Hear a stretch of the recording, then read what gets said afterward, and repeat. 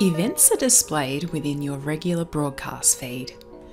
You can identify an event by the blue calendar icon. You can respond to events in the same way that you do other broadcasts attending, not attending, or other. If you are attending an event, you can add it to your personal calendar. Tap on the blue event icon to view the details, then tap on Save to My Calendar. Also, if you're attending an event, your status will automatically be set to booked for the duration. Anyone who has been given permission by their administrator can create new events. Tap on the events item in the main menu, then tap on the plus icon in the top right hand corner. Then, give your event a name. Select the type of event and select a status. Please note, only confirmed events are broadcast.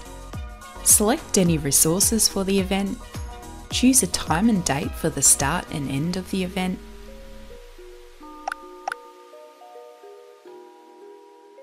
set a location,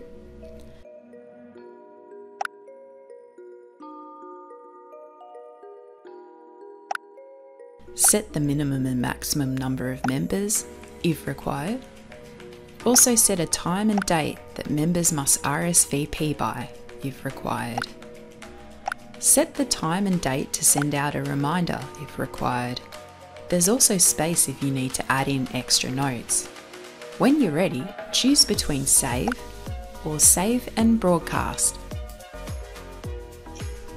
Within the Members web app, events can also be used alongside the Crew Builder feature to display who has been assigned to a crew for past and present dates. To access this display, open up the Members web app and navigate to Events. Then click on the Crews tab at the top of the screen.